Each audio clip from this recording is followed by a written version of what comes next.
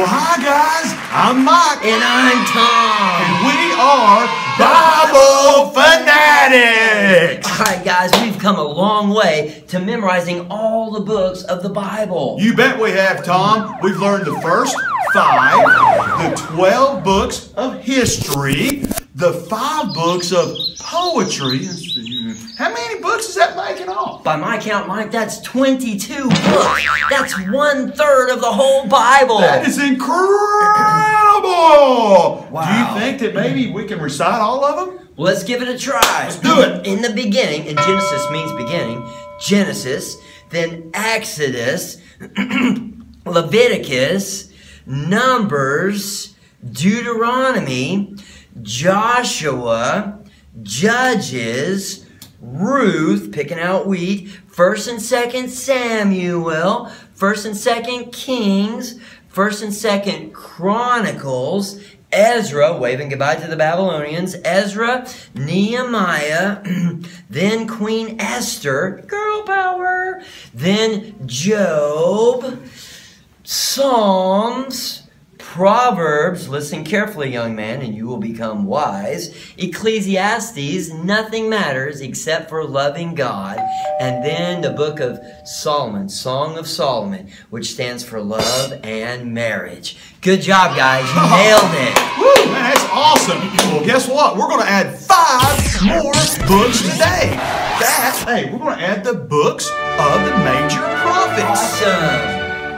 Now, prophets were the mouthpiece of God. They were the ones that took God's message and gave it to the people. Some were good, some were bad, and some even told about God's promise to fulfill his promise in saving the world from sin. Ooh, now Isaiah, okay, that's the first one. Isaiah was the first, first of these prophets, and he delivered messages to God's people in time of bad kings. Right. Wanting them to turn back to God. So to remember Isaiah, let's draw a lowercase i with our finger, then dot it with the I. Don't forget the I. Right. And Jeremiah was another prophet of God.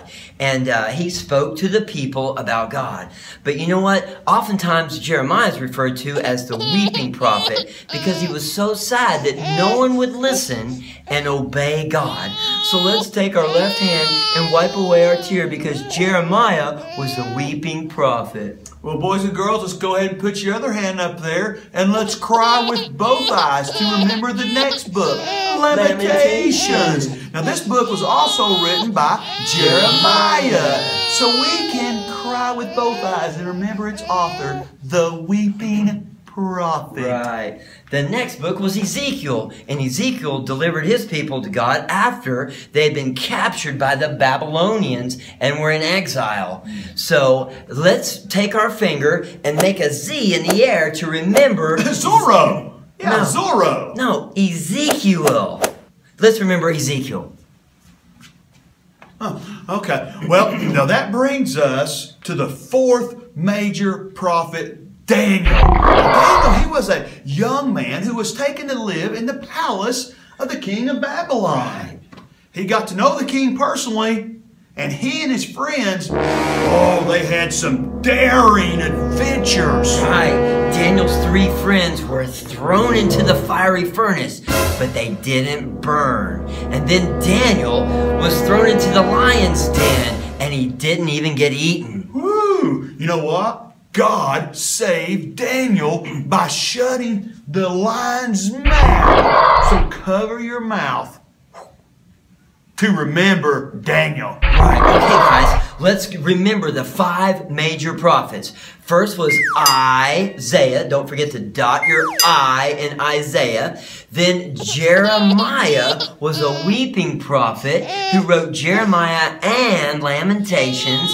And then Ezekiel, we remember by making a Z to remember Ezekiel. Not not Zorro. Right, Ezekiel.